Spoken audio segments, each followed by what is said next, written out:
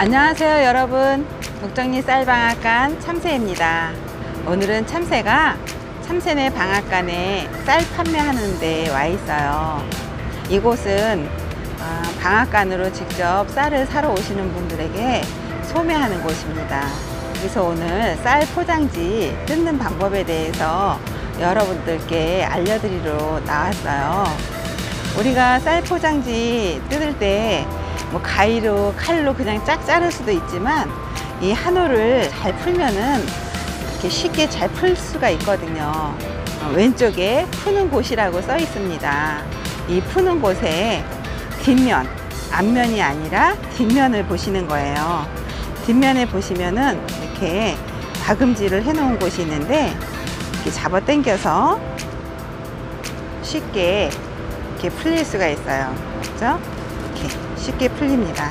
다시 한번 해볼게요. 여기 왼쪽 면에 뜯는 곳이라고 있어요. 이 뜯는 곳에 보시면은 이렇게 작은 작은 다금질을 하다가 잘린 작은 실이 있고요. 요걸 빼내고 그리고 뒷면에 이렇게 동그라미 원에 이렇게 꼬인 게 있어요. 이 꼬인 것을 빼주면 돼요. 볼까요? 이렇게 나중에 제가 자세히 또 설명도 해드리겠지만 이렇게 쉽게 풀 수 있다는 것을 알려드리는 것입니다. 그죠? 여기 작은 거 하나 빼내고요. 그리고 앞면에 있는 실을 뒤로 잡아 당겨서 보면은 꼬인 것이 있어요. 그거를 잡아 당기면은 이렇게 쉽게 풀립니다. 어때요? 간단하죠?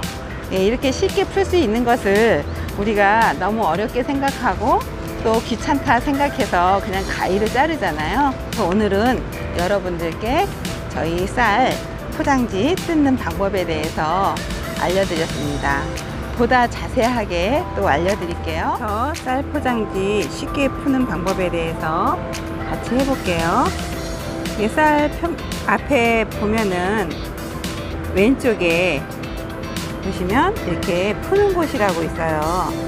보이시죠? 이 푸는 곳 방향에서 시작합니다. 포장지를 돌려서 보면은 이렇게 박음질이 돼 있어요. 이렇게 엮어 놓은 것처럼 바느질이 돼 있죠? 네. 이렇게 여기에 첫 번째 보면은 이렇게 작은 작은 실이 있어요. 박음질 하다가 박음질 하다 나온 실이죠. 이 실을 하나 빼고요. 그리고 이렇게 보시면 잘 보세요.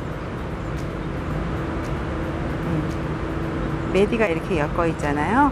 이 마디를 요거를 앞으로 살짝 빼는 거예요. 그죠? 이렇게 살짝 빼서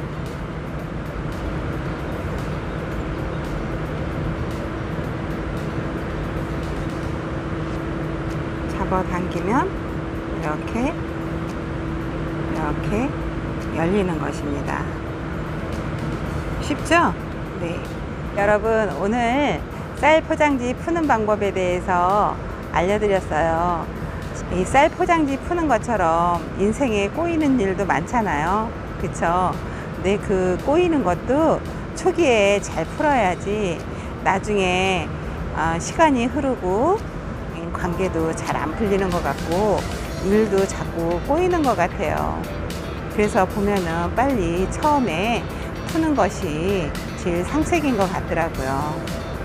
쌀 포장지도 그냥 가볍게 가위로 잘라낼 수 있지만 또 이렇게 한번 풀어보면은 이렇게 풀어보면은 인생 이렇게 풀리듯이 이렇게 포장지도 잘 풀리고 우리 여러분 인생도 잘 풀리시기 바랍니다.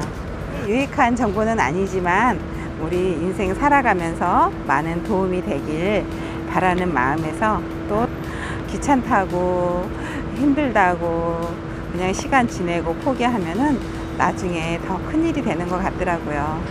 네, 여러분 오늘 즐거운 하루 보내세요. 감사합니다.